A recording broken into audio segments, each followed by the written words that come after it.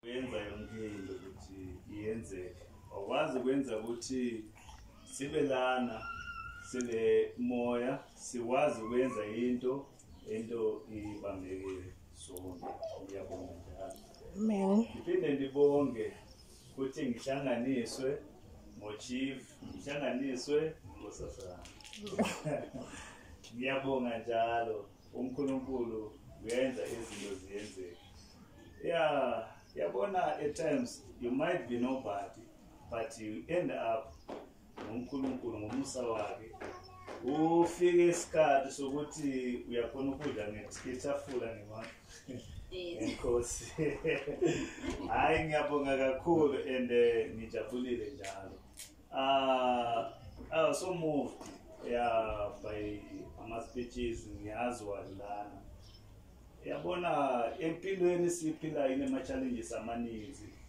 ama-challenges lawo sometimes ma uzwa umuntu akhuluma uyacabanga ukuthi uyakhuluma nje but ezinto ezininzi ziyayenzeka siyazibona ezinto zakhona zibuhlungu kakhulu futhi so eh into ndiza khona ukuthi ndifundisane nami kancane nje ukuthi ma uyabona into ibalulekile kakhulu ukwazi ukuzinikeza wena ithuba lokuthandaza nje ukwazi ukuthi unkulunkulu amele angenele kwi-izindaba zakho because enye ezinto ezininzi emhlabeni lana sokugcwele abantu batakathayo sokugcwele abantu babamba izinto zirongo bangafuni ukuthi abanye abantu baphumelele yabo so uh, sento sayizwe khuluna ukuthi wo abantu besifazane sometimes ba wrong sometimes ba right but ke othi ngikhulume iyo ndaba ne ah uh, ezinto ziyenziwayo ngebantu besifazane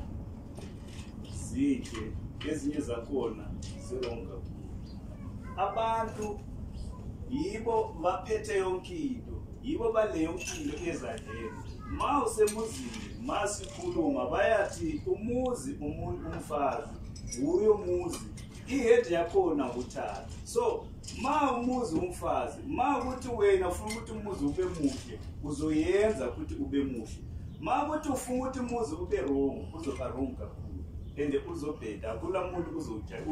uzowuthanda lowa muzi so le nto leyi iyayenzeka ngezinye indlela zokuthi umuntu uyakhona ukuthi angaboni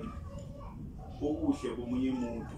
vakhona ukuthi sicontrolane yikho kuzobuya ukuthi kube le uh, gender based violence ngaphakathi because kuyabe sokunekucontrola uyabona abantu bayi-two masi ukuthi bavumelana ngethando akumele kube lo munye wesitri ungenela ngaphakathi ungabona sokuyenzeka le nto sokuqalila indaba lapho angeke kugcine ekugcineni kwabona kuzaba wrong kakhulu futhi yabona because kuyabe sekungenelwe ngezinye izinto yikho kuzoyenza ukuthi umunye umuntu aphume endlini ahambe phandle aqalisa ukudinga ukuthakatha kwenza ukuthi laba bayi-two wenzani bahlukane so lezo zinto ziyayenzeka and eh, ziriwo zimele zikhangelelo sikwazi ukuthi nathi sikwazi ukuphila impilo siyifunayo not ukuchuzelwa impilo ngabantu abantu ma basebakuchuzela impilo awuphili impilo okuthandayo wena but uzoyenza izinto bazithanda bona so leyo mpilo leyo ayikho mnandi and ayijabulisi yafana ngemoto angeke ihambe yodwa uyabo uzayidrayive yiyo into ngifuna ukuthi ngikhulume ngiyabonga kakhulu amen